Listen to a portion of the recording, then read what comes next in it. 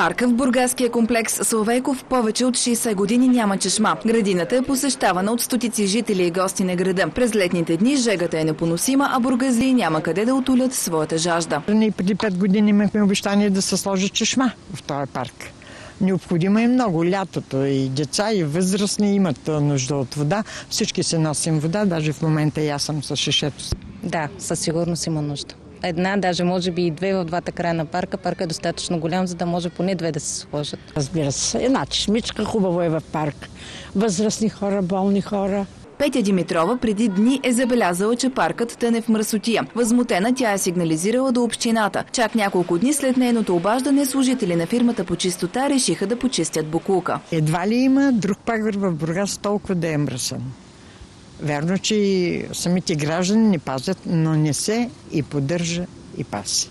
Проблем в парка е и недостатъчния брой пейки и липсата на туалетна. Трябва да си има и, и обществена туалетна, която да си е все пак...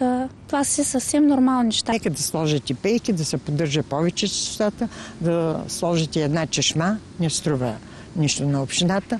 И дано да се изпълнят обещанието, което дадаха преди 5 години, когато бяха предишните избори.